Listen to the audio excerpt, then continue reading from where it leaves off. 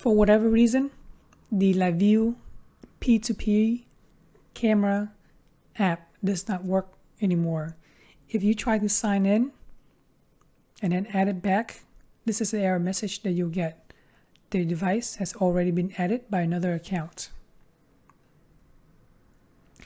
Let's exit out the app and you'll need to download another app. It's called LTS Connect.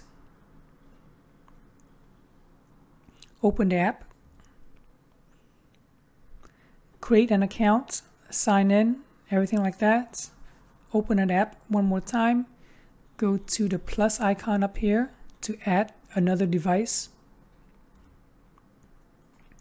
You'll click on scan QR code. If you don't remember what the QR code is look like, go back into your network setting configuration on the NVR. Go to P2P networking and this is the icon, the QR code that you will see. Make sure that this is display so that you can scan it with your phone. Go ahead and now scan it. obviously it's not going to work again because it has been attached to another device. So go ahead and click on unbind device. Make sure that you're on the same Wi-Fi network as the NVR itself. So that means most likely you have to be in the same building, same room, whatnot. So make sure that you are on the same network and then try the process unbind the device one more time. If you are in the same network and then this is the message that you'll get.